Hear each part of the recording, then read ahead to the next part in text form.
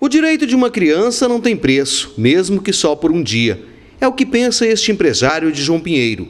Dono de uma rede de supermercado, ele resolveu investir parte do lucro numa festa para as crianças, com direito a brincar e lanchar. E o resultado não poderia ser melhor. A criançada aproveitou.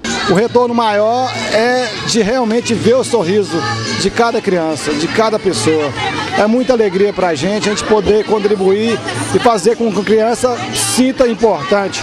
Cada um aqui, em cada brinquedo, você pode observar que tem uma alegria assim enorme, é uma, uma alegria exagerada no rosto de cada um, a felicidade transborda.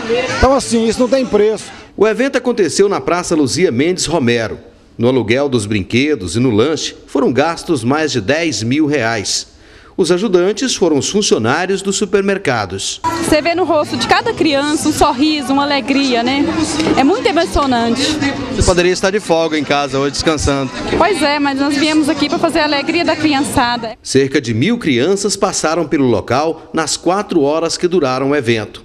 Os pais aprovaram a ideia e o Dia das Crianças não passou despercebido principalmente para as crianças que, que não têm condições. João Pinheiro já é carente de um divertimento para as crianças.